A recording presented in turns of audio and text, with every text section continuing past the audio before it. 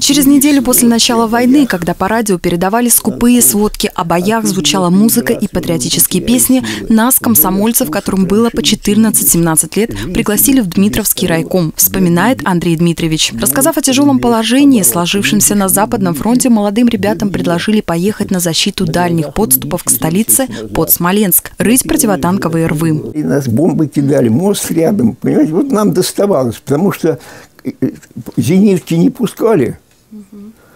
А с бомбами немцы не могли возвращаться, потому что нельзя на аэродром садиться с бомбами. Нужно их сбросить. А рядом не, а хорошо, что он наш. Ров же собственный был. И поэтому, значит, Бог уберег.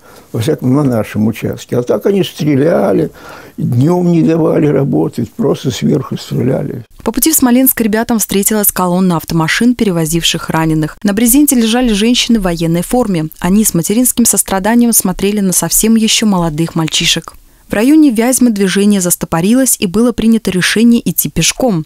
Но вот, наконец, мы и прибыли, с дрожью в голосе вспоминает ветеран. Перед нами Днепр. Разрывы снарядов, зенитных орудий отпугивали, и фашисты сбрасывали бомбы совсем рядом с молодыми солдатами. Благо, ранен Андрей Дмитриевич не был. Интенсивнее яростнее становились бомбежки железнодорожного моста и всех подъездов к линии обороны. До ребят уже не доходили ни почта, ни продовольствия. На 25 человек стали выдавать буханку хлеба. Продвигались они словно в полусне. Сквозь сознание лениво текли обрывки мыслей. То виделись раненые женщины, то вспоминались материнские слезы. Рубежи обороны, казалось, никогда не закончатся, но этот день настал. Солдат погрузили в автомашины и отправили домой. Москва к тому времени выглядела более строгой, чем месяц назад. А когда учредили медаль за оборону Москвы, дмитровские комсомольцы оказались в первой тысяче награжденных. Значит, мы, мальчишки, хорошо сделали свое дело, с улыбкой признается ветеран. В Одинцово Андрей Ларионов уже 60 лет. Со своей женой Лидией Антоновной они живут дружно и счастливо.